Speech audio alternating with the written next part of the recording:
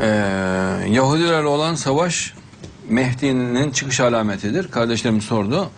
O 6 gün savaş, 6 gün savaşıydı. 6 gün sürdü o zaman. Evet hocam altı gün. O 6 gün savaşı da olmuştur. O mühim bir alamettir. İsrail devletinin kurulması yine Mehdi'nin çıkış alametidir. Fakat Mehdi bütün Musevileri de kurtaracak. İnşallah. Yani e, Musevilerin e,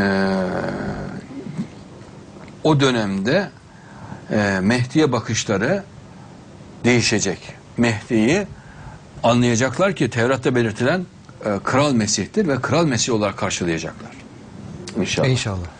Ve son derece rahat edecekler. İlk defa, dünyada ilk defa huzur içinde yaşayacakları bir döneme girecekler.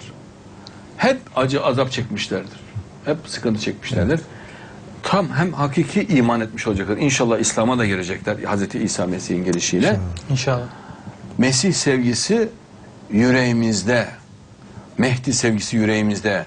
Mehdi'yi sevmeyen peygamberi sevmez. İsa Mesih'i sevmeyen peygamberi sevmez. Peygamberi sevmeyen de haşa Allah'ı sevmez. Allah'ı seven Mehdi'yi de İsa'yı da sever. Evet. İnşallah. İnşallah.